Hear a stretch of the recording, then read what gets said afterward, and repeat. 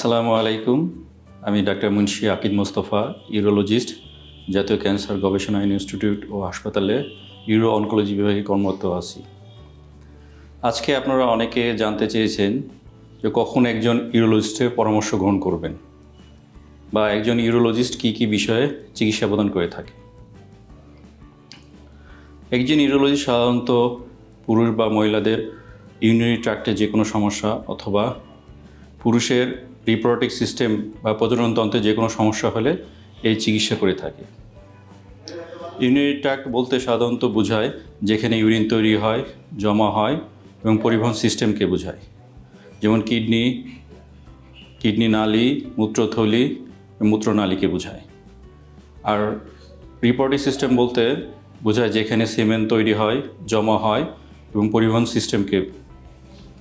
এখানে আছে অন্নকোষ পোস্টেড গ্ল্যান্ড, সেমিনাল ভেসিকল ও পেনিস। এসব জায়গায় যে কোনো সমস্যা হলে একজন ইউরোলজিস্ট তার চিকিৎসা করে থাকেন। ইউরোলজিস্ট সাধারণত প্রথমে ওষুধের দ্বারা চিকিৎসা দেয়, এরপর প্রয়োজন অনুসারে অপারেশন করে থাকে।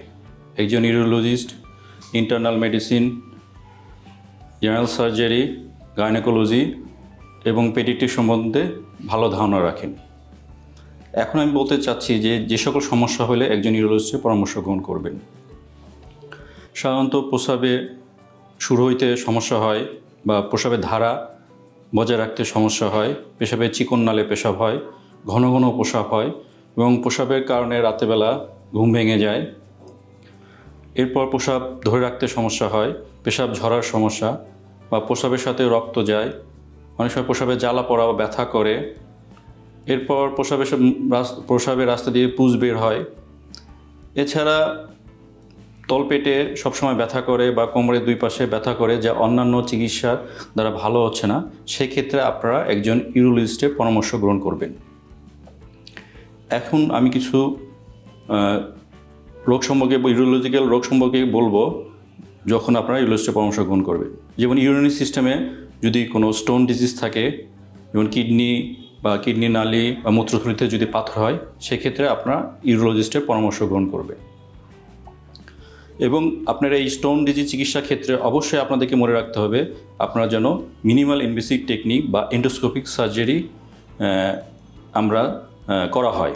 কারণ দেখা যায় যে টেন পার্সেন্ট পেশেন্টের ক্ষেত্রে এক থেকে দুই বছরের মধ্যে এবং ফিফটি পার্সেন্ট পেশেন্টের ক্ষেত্রে পাঁচ বছরের মধ্যে আবার পাথর হয়। সেক্ষেত্রে আমরা যদি এন্ডোস্কোপিক সার্জারি করি, তাহলে পরবর্তী চিকিৎসা আমাদের সুবিধা হয়। এরপর ইউরোলজিক্যাল ক্যান্সার যেমন অ্যাডেনাল গ্ল্যান্ডে কিডনি বা মূত্রথলিতে বা অন্য কোষে টিউমার থাকলে অথবা পেনিসে ক্যান্সার হলে আপনার একজন ইউরোলজিস্টের পরামর্শ গ্রহণ করবেন।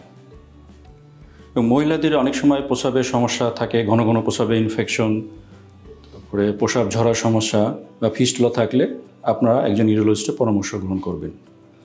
বাচ্চাদের ক্ষেত্রে দেখা যায় যে অনেক জন্মগত সমস্যা থাকে। এই জন্মগত সমস্যার জন্য আমাদের ইউরোলজিস্টের পরামর্শ গ্রহণ করতে হবে। আমরা অনেক সময় গর্ভাবস্থায় মহিলাদের আল্ট্রাসাউন্ড করলে দেখা যায় যে বাচ্চার হাইড্রোনেফ্রোসিস বা কিডনিতে পানি জমছে, এটা ধরা পড়ে। সেক্ষেত্রে আপনার গর্ভাবস্থায় কন্টিনিউ করতে গেলে এবং আফটার ডেলিভারি একজন ইউরোলজিস্টের পরামর্শ অবশ্যই গ্রহণ করতে হবে। এক্ষেত্রে আপনাদের ডেলিভারির পরে অপারেশন, ইমিডিয়েট অপারেশন প্রয়োজন হতে পারে। এছাড়া বাচ্চাদের ক্ষেত্রে আরও জন্মগত সমস্যা আছে, যেমন প্রসাবের রাস্তায় পর্দা থাকলে, তারপরে প্রসাবের ছিদ্র জায়গা মতো না থাকলে অন্য কোষ নিচে না নামলে এরকম বিভিন্ন সমস্যায়, ইউরোলজির সমস্যা হলে আপনারা একজন ইউরোলজিস্টের পরামর্শ গ্রহণ করবেন। আমরা অনেক দম্পতি পাই যেখানে নিঃসন্তান, তাদের যদি পুরুষের সমস্যার কারণে, এ ধরনের সমস্যা হয়, তাহলে আপনারা একজন ইউরোলজিস্টের পরামর্শ গ্রহণ করবেন। এছাড়া ছেলেদের সেক্সুয়াল ডিসফাংশন থাকে, লিঙ্গ উত্থানজনিত সমস্যা বা দ্রুত বীর্যপাতের সমস্যা থাকে, এক্ষেত্রে আপনারা অন্যান্য স্পেশালিস্টের পাশাপাশি অবশ্যই একজন ইউরোলজিস্টের পরামর্শ গ্রহণ করতে হবে। এরপর আপনাদের যদি ইউরোলজিক্যাল সিস্টেমে কোনো আঘাত আঘাতের ঘটনা ঘটে যেমন কিডনি কিডনি নালি, মূত্রথলি অথবা পেনিস, অন্নকোষে, সেক্ষেত্রে অবশ্যই একজন ইউরোলজিস্টের পরামর্শ গ্রহণ করতে হয়।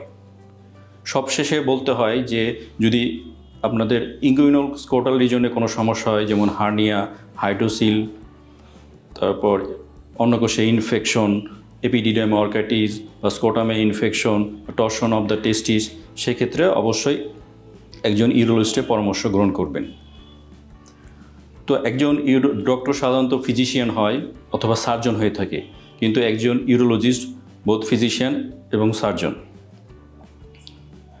Bangladesh association of urological surgeon এর তালিকাভুক্ত চারশো জন ইউরোলজিস্ট আছে। সুতরাং আপনাদের যে কোনো ইউরোলজিক্যাল সমস্যা হইলে আপনারা অবশ্যই একজন অভিজ্ঞ ইউরোলজিস্টের পরামর্শ গ্রহণ করবেন।